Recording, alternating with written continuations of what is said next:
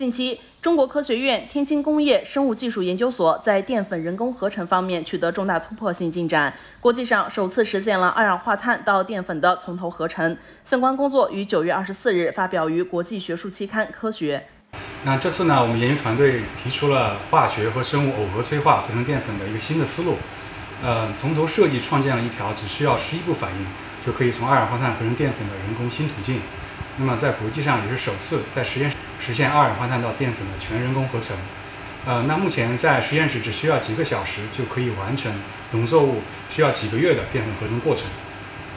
淀粉是粮食最主要的成分，同时也是重要的工业原料。目前，淀粉主要由玉米等农作物通过自然光合作用固定二氧化碳生产。淀粉合成与积累涉及六十余步生化反应以及复杂的生理调控，理论能量转换效率仅为百分之二左右。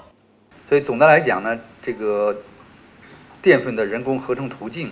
它和自然的合成途径相比，从能源利用形式，只只是用光能啊，可以变成用电能，实际上是用最终是氢能。反应步步骤，然后从自然的六十步左右缩短到十一步，能量转化效率从百分之二到百分之七，然后碳转化速率呢，这个。碳转化率有比较大的提高，我们这条途径它就可以利用高浓度的二氧化碳做原料，也可以利用高浓度的、高密度的能量，这比如说氢能来做这个能源供体，有更短的途径，更更高效的效率。农作物的种植通常需要较长周期，需要使用大量土地、淡水等资源，以及肥料、农药等农业生产资料。粮食危机、气候变化是人类面临的重大挑战。粮食淀粉可持续供给、二氧化碳转换利用是当今世界科技创新的战略方向。不依赖植物光合作用，设计人工生物系统固定二氧化碳合成淀粉，将是影响世界的重大颠覆性技术。人工合成淀粉就是这条路线。如果能够